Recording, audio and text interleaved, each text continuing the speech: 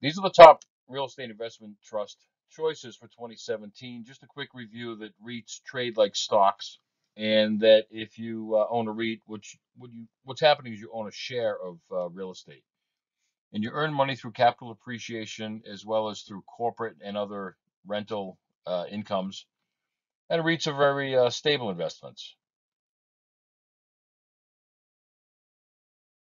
Of a real estate investment trust is that REITs allow a small investor to participate in these high returns uh, generally associated with real estate properties and real estate holdings. And so a REIT pools the uh, the properties and the mortgages and that are bundled together. So they're bundled together and they're sold uh, as a security in the form of a trust.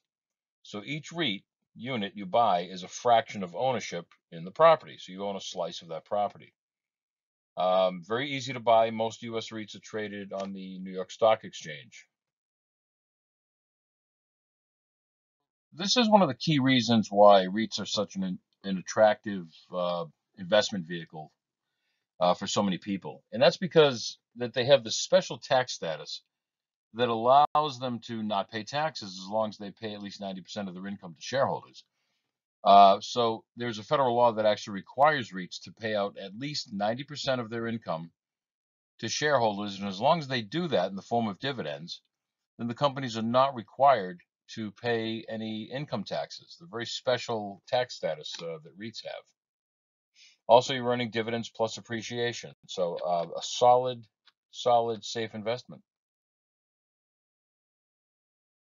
Now, equity REITs are going to make up most of the REITs that you're going to find. These are very stable. There's a lot of st stability with equity REITs in these self-storage facilities, industrial buildings, um, healthcare properties, shopping malls, apartment buildings, data centers. Very stable investments. There's certainly more volatility with the mortgage REITs. Mortgage REITs can be agency mortgages, such as those guaranteed by uh, Fannie Mae and Freddie Mac, or commercial mortgages, but um, I would uh, I would stay with the equity REITs uh, just because of their stability. Um, but there's value in the mortgage REITs as well if you want to look into those. Break it down um, and look at the formula for making money through REITs. It's actually pretty simple. Buy properties that make money, lease those properties to paying tenants. That yields a stream of income that is then passed on to shareholders in the form of dividends. Beautifully simple. As with all investments, please do your own research. Okay, my research, our research here. I'm going with uh, PSA Public Storage Facilities this year, uh, Digital Realty Trust, uh, Blue Rock Residential Growth, BRG.